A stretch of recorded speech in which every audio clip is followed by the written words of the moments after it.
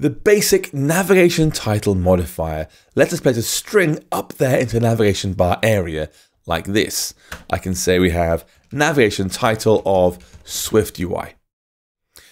But if you're using the inline title display mode, you can also pass a binding to a string to navigation title.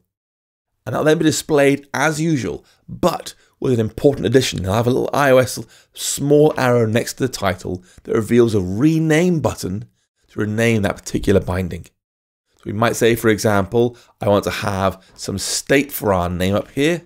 I'll do at state, private var name, or title even better. Uh, we'll do Swift UI as the default. And then down here, for the title, I'm going to say you are dollar title like that. Now you can see it looks the same. That's because we aren't in inline display mode. And to enable navigation bar title display mode of dot inline. And now you see that little arrow hanging down here. I press Command R, like a bit bigger on the screen. And you can see here, tap the arrow, press rename, and just go ahead and type a new name. Type like hello, for example, and boom, that's written back to the state.